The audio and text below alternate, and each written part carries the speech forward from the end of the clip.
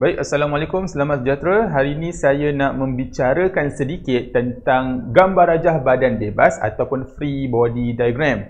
Jadi free body diagram ni kita boleh gunakan untuk menyelesaikan masalah berkaitan dengan leraian daya dan daya dalam keseimbangan. Okay, ada yang suka gambar rajah badan bebas ataupun free body diagram ini ataupun ada yang guna segitiga. Okay, kalau saya jujurnya saya lagi suka eh, FBD ni. Jadi saya terus masuk. Okey, first kita tengok soalan kita yang pertama. Macam mana dikatakan uh, tak jalan pun? Okey. Objek adalah berada dalam keseimbangan. Hitung ketegangan tali. Alright. Cerita dia macam ni.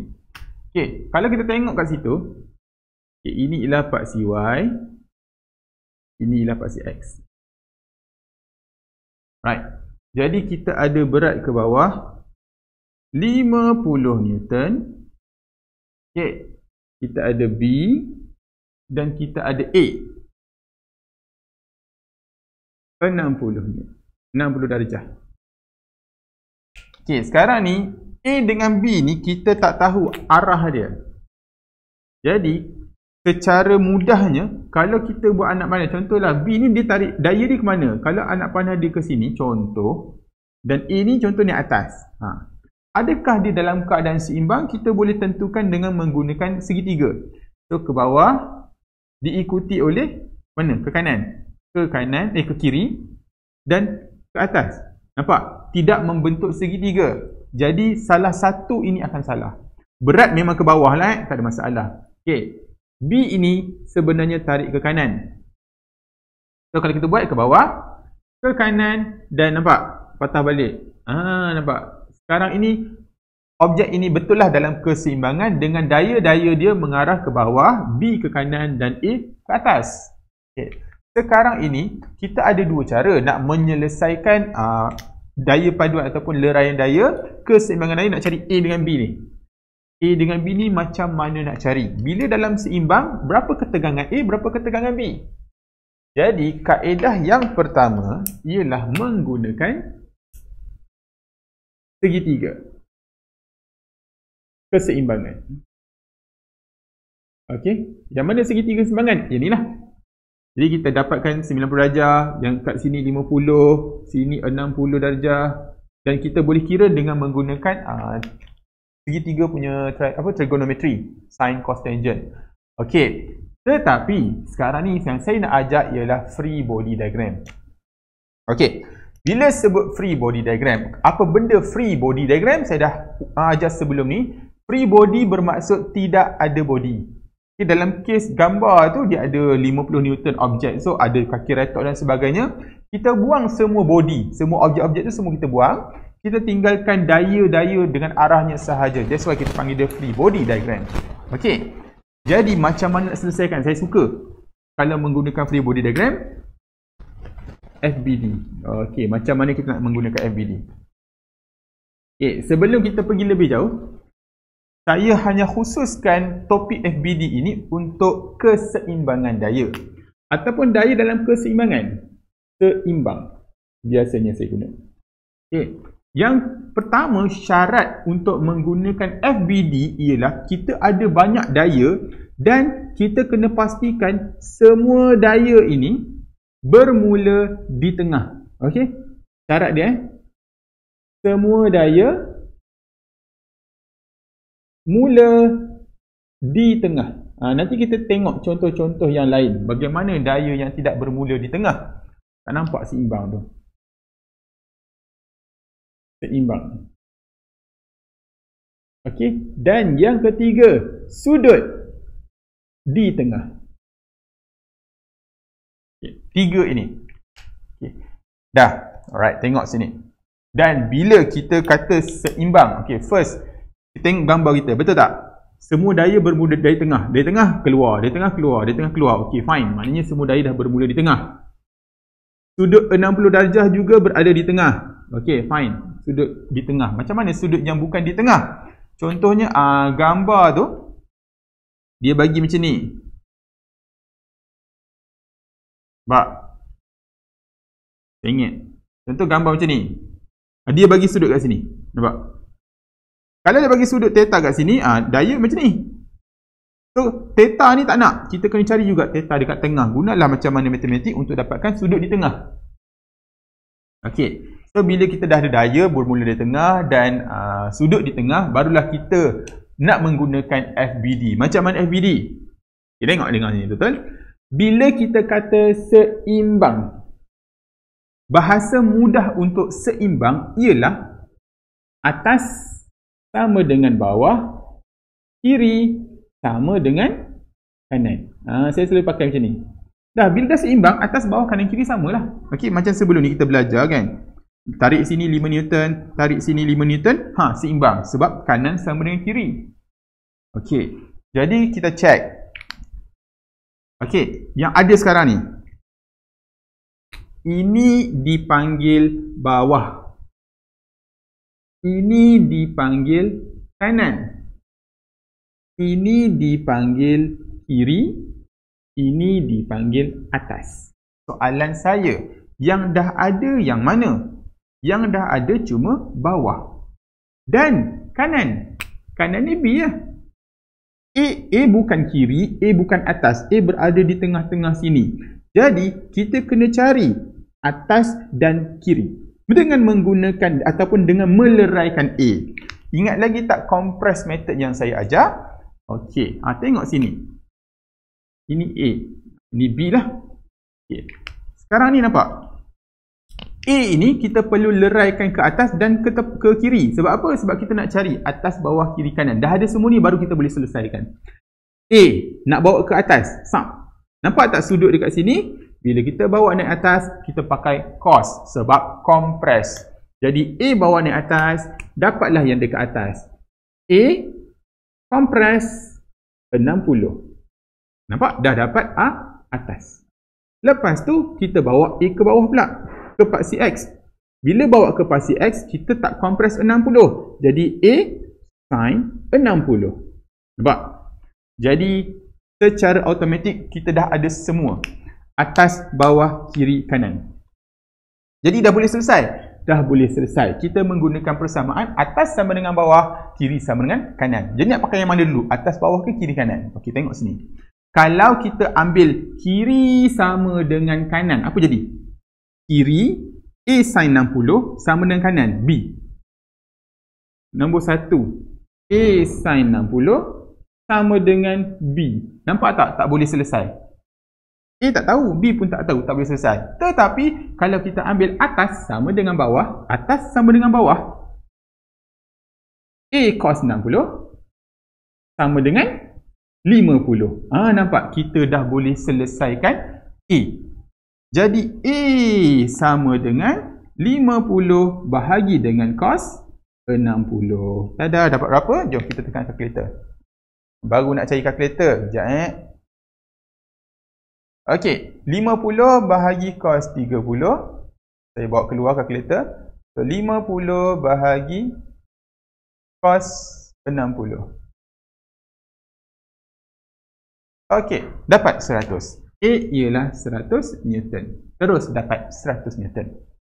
Okey. Ha, A dah terus 100. Tada. Habis tu B. Ha, relax. Tadi kita kata B sama dengan A sin 60. Bermaksud B sama dengan A. A tadi 100. 100 sin 60. Dapat berapa? So, tekan calculator lagi.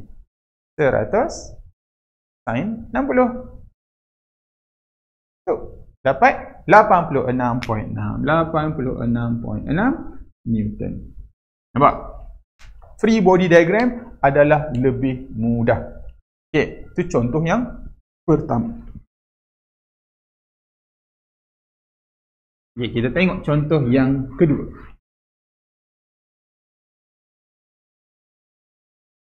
Oh. Udah mana tadi? Uish, awak mouse ni alamak tamat dah ok alright ni diberi berat objek adalah ok ni gambarnya dari buku teks ok oh tak nampak yang dekat slide Cuba kita tarik sikit Apa saya bacakan? Diberi berat objek 20 Newton. Sudut antara benang dengan tiang ialah 30 darjah. Okey. Jadi, apa dia begini? Ini tiang. Ini bola. Nampak? Jadi, berat nak. Confirm awak. Berat memang ke bawah. Ini tidak ada masalah. Dengan berat dia ialah 20 Newton. Tapi nampak bola itu ke tepi. Jadi ada ketegangan tali dekat atas. Satu lagi daya. Daya tu ke mana? Ke kanan ke ke kiri? Ha, daya yang menolak ni. Okey, kalaulah kalau kita ambil oh, mungkin daya tu ke kanan kot. Okey, kita check adakah dia dalam keseimbangan?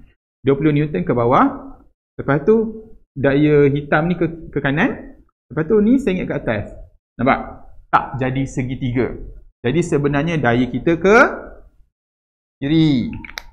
Ha, ni. Daya ni. Okey. Sekarang ni kita ada tiga daya pada sudut 30 darjah. Ni 30 darjah. Okey. Saya lukis kat tepi lah eh. Sebab kita nak buat FBD.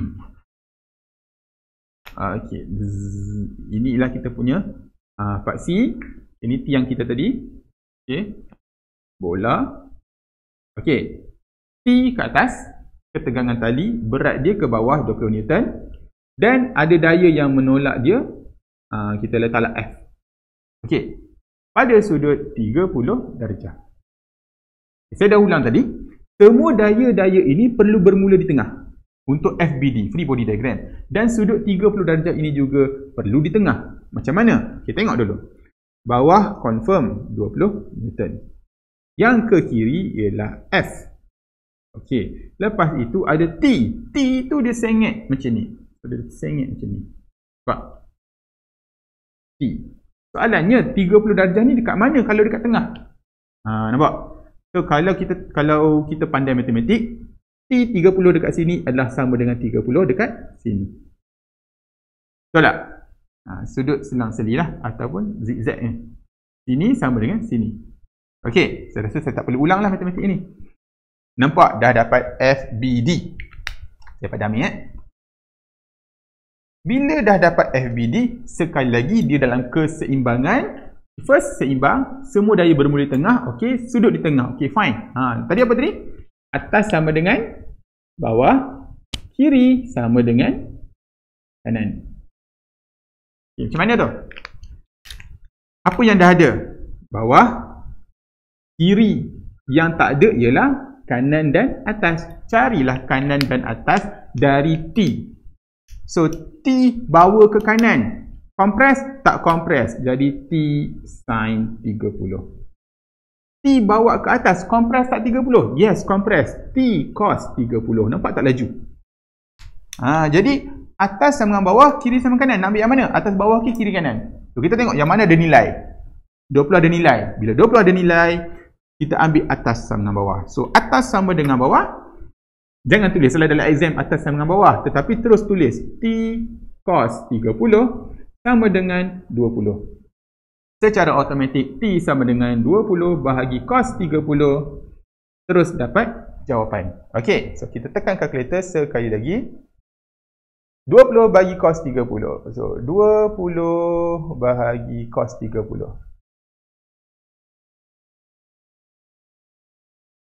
23 perpuluhan 1 lebih kurang lah 23 perpuluhan 1 Newton Aha. Sebab itu ialah atas dengan bawah kiri sama dengan kanan macam mana pula so sekarang ni kita dapat T eh okay. so kita tahu F sama dengan ni kiri sama kanan T sin 30 T dah penat-penat dapat tadi daripada atas tadi so 23.1 sin 30 ha, terus dapat Allah tak nampak Terus dapat jawapan. Kita tekan kalkulator. Saya padam ni. Okay. 23.1 sin 30. So answer lah eh. Answer sin 30. So, 11.55 right lah. 11.55 Newton. Nampak? Ha, sangat mudah. Okey, atas dengan bawah kita samakan dengan syarat bila nak pakai ni eh. Bila atas sama dengan bawah kiri sama kanan? Bila seim, seimbang. Okey. Padam lagi. Dah, dah syok. Okey, free body diagram ni best. Kita masuk lagi. Okey. Ini dari buku teks juga. Kalau kita tengok dekat situ, dalam buku teks menggunakan kaedah segitiga dan dia menggunakan sine rule dengan cosine rule. Ha, petua cos dengan petua sine. Dan dua-dua dapat jawapan yang sama 10.46 Newton. Jadi kita nak gunakan free body diagram yang nampak lebih mudah ini untuk kita check betul tak jawapan kita. Okey, sekali lagi. Ha, nampak? Okey. Gambar tu macam ni. Daya dia T kat sini, T kat sini. Itu gambar dan berat dia ke bawah W. Okey, saya dah ulang banyak kali di mana bila nak buat free body diagram apa syarat dia tadi? Allah, saya ingat. Semua daya bermula di tengah. Tengok daya. Daya T yang pertama ni dia sengit ke tepi. Jadi kita bawa sengit ke tepi. Nampak tak dia bermula di tengah? Yang ni pula sengit ke kiri. Start dari tengah, sengit ke kiri. T, T. T ini untuk ini, T ini letak dekat sini. Sebab kita nak semua bermula dari daya bermula di tengah. Dan W ke bawah, ke bawah. Sebab sekarang sudut dia 35 sini. Sini pun 35. So sini 35, maka sini 35. Sini 35, maka sini pun 35. Nampak? Ha, Okay, saya boleh padam yang sini. Jadi inilah gambar apa gambar kita punya free body diagram bagi uh, gambar yang tergantung tu. Nampak? Sekarang ni kita nak cari berapakah ketegangan tali T dengan menggunakan free body diagram atas sama dengan bawah, kiri sama kanan. Okey, check. Yang ada W, W berat dia apa? 12 Newton.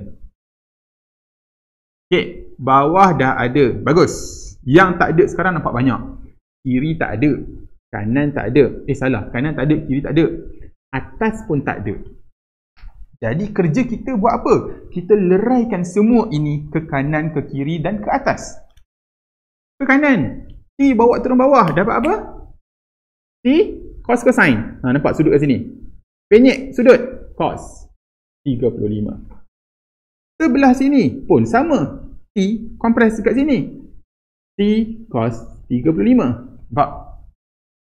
Habis tu yang atas macam mana? Atas ni kalau kita perasan ialah gabungan dua-dua. Daya T yang belah kanan ini bawa ni atas.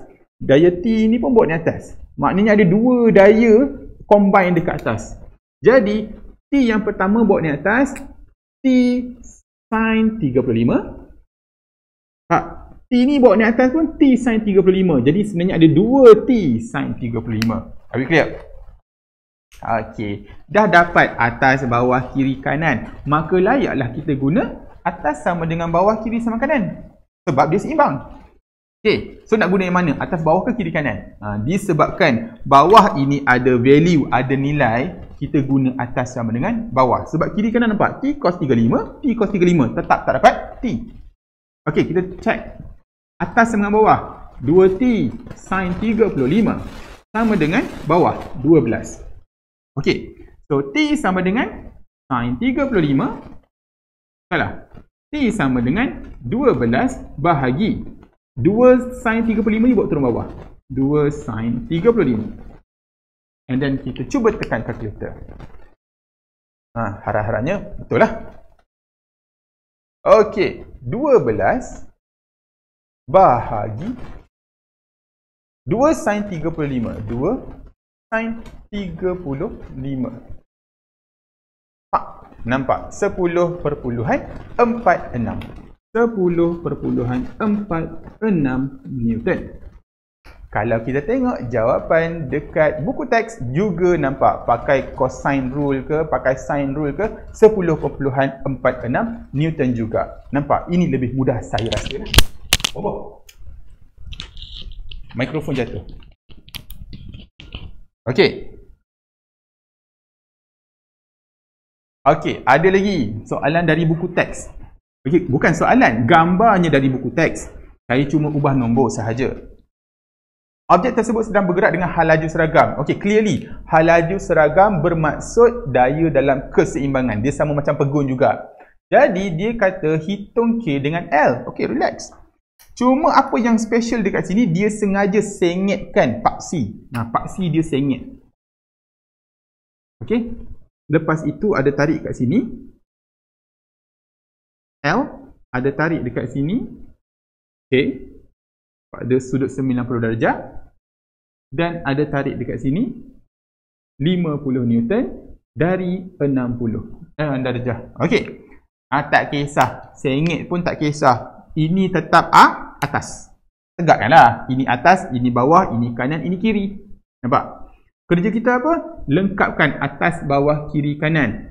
Bawah dah ada, bagus. Kiri pun dah ada tuan dia, dah bagus.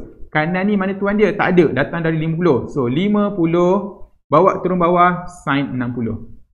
Atas ni siapa? 50 bawa naik atas. Compress 60. So 50 cos 60. Nampak tak? Ha. So atas sama dengan bawah. Kanan sama dengan kiri. Secara automatik dah terus boleh dapat K dan L. Nampak? So K berapa? K kiri sama dengan kanan ni. Kiri sama kanan. So K sama dengan 50 sin 60. L sama dengan atas sama dengan bawah. So, 50 cos 60. Sama dengan, sama dengan. Okey, tekanlah kalkulator. 50 sin 60. 50 sin 60. 43.3 43.3 Newton 50 cos 60 25 kot 50 cos 60. 25. Okey. Ha, lagi tak soalan? Oh, ada lagi. Ha, kalau apa kalau paksi ini kita boleh sengitkan samalah dengan satah condong. Satah condong tu pun sama. Sebenarnya dia punya paksi telah disengitkan. Okey, tengok sini. Wah, wah. 40 degree 20 Newton. Okey.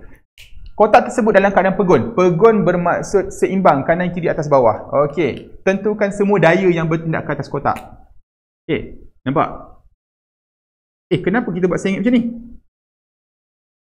Sebab bila dah satah condong, kita menganggap paksi Y dan paksi X dia juga condong. Okey. Bila 20 Newton berat, berat sentiasa ke bawah. 20 Newton straight line. Tak straight pun. Berat sentiasa ke bawah 20 Newton. Dan saya dah ajar dekat tajuk keseimbangan daya. Bila 40 darjah kat sini, secara matematik, automatik terus 40 darjah dekat sini. Sini 40 darjah juga. Okay. Kenapa nak cari kat sini? Ah, kenapa nak cari sini? Nampak ni? Semua daya bermula di tengah, sudut di tengah. Sekarang saya padam. Saya padam semua ni. Okay, dah dapat 40 kan? 40 ni kat tengah lah sebenarnya. Padam. Okey, padam. Padam sekali kotak ni. Kenapa padam kotak ni? Sebab itulah nama dia free body. Okey. Ha, 20 Newton kita dah tahu tadi berat dia ke bawah. Nampak tak? Nampak tak apa yang kita nampak sini? Oh Allah tak nampak sangat kalau warna merah. Okey. Dari 20 Newton dengan sudut 40 kita boleh leraikan kepada semua. Okey? So, Sini ialah berapa? 20 bawa ke sini. 20 sin 40. Nampak? Tak compress. Bawa ke bawah sini. 20 cos 40. Nampak? So, atas sama dengan bawah. Kiri sama dengan kanan. 20 sin 40. Sini pun 20 sin 40. Atas sama dengan bawah. Sini pun 20 cos 40. Nampak? So kalau dalam uh, apa satah condong kat sini dia kata R. Dekat sini dia kata daya geseran. Nampak? Sangat senang free body diagram. Sebenarnya you pun dah buat free body diagram ni tanpa you sedar sebenarnya. Jadi saya menerangkan dengan lebih jelas supaya kita faham apakah benda free body diagram dan bagaimana ia nak digunakan untuk menyelesaikan masalah berkaitan leraian daya dan daya dalam keseimbangan. Okey, so itu sahaja perkongsian saya pada hari ini. Ha, sekian terima kasih. So saya akhiri uh, video saya ini.